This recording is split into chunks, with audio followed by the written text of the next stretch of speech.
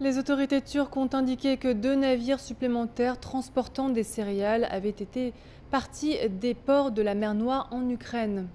Cela intervient après qu'un troisième chargement sur quatre bateaux est parti dimanche.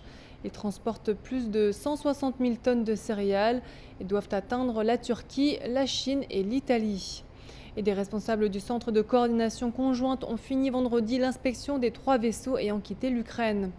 L'un d'entre eux, qui transporte 12 000 tonnes de maïs, doit décharger aujourd'hui dans un port turc. Le Centre de coordination conjointe supervise la reprise des exportations de céréales à Istanbul, au travail du personnel russe, ukrainien, turc et des Nations Unies.